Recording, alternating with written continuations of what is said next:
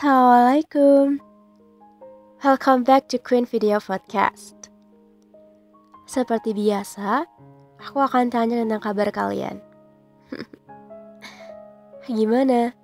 Baik-baik aja kan? Semoga kita semua selalu diberikan kesehatan dan juga kemudahan di mana pun kita berada ya. Oke, okay, right now, I wanna make a podcast about not too confident atau tidak percaya diri. Siapa yang di sini sefrekuensi sama aku? Siapa yang punya sifat menyerah dulu sebelum mencoba dan takut mengambil resiko?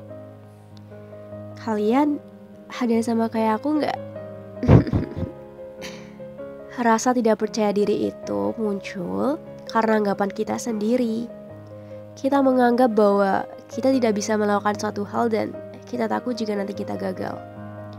Sampai saat ini, aku masih sering ragu untuk melakukan kemajuan dalam hidupku. Aku hanya takut jika langkahku itu salah dan memberikan dampak yang negatif. Ya, aku tahu. Aku anaknya overthinkingan. Aku gak bisa berpikir positif. Aku menganggap kalau aku itu ya gak berguna dan gak bisa diandalkan dalam segala aspek. Aku juga orang yang gak konsisten dalam melakukan suatu hal.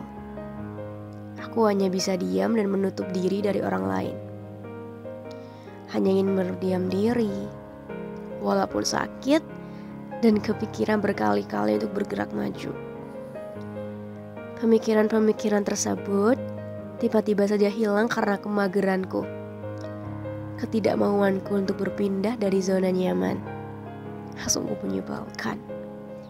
Aku capek banget sama kondisiku sekarang. Aku tahu dan cukup tahu diri kalau aku hanya beban buat orang lain.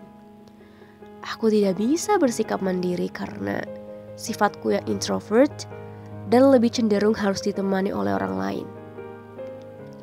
Ya, manusia memang makhluk sosial, tapi sesosial-sosialnya kita juga perlu mandiri dan tidak terlalu bergantung ke orang lain, bukan?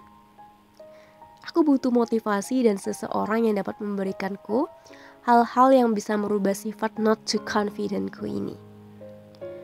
Aku insecure dengan teman-temanku yang lain. Mereka yang masih muda tapi sudah berhasil mandiri dan tidak minta duit orang tua untuk kebutuhannya.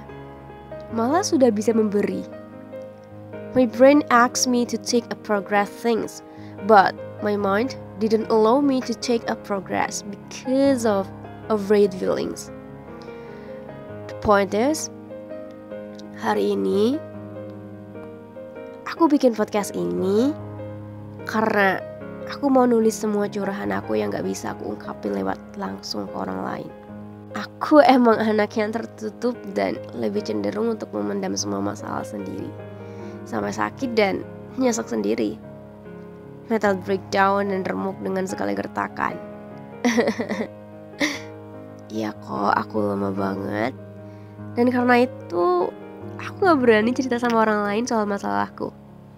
Karena pertama, aku takut mereka merasa terbebani dan kedua, aku takut kalau tanggapan mereka bukannya memberikan solusi tapi malah menyalahkanku. Aku sangat takut. So, teruntuk kalian teman onlineku yang mungkin denger podcast ini sampai habis, terima kasih banyak karena udah dengerin semua keluh kesahku dan ngebuat aku sedikit lega karena securi bebanku hilang karena udah diungkapin. So, I think that's all for today. Thank you so much because you listening my podcast until done. See you at the next podcast and Goodbye. 开心啊你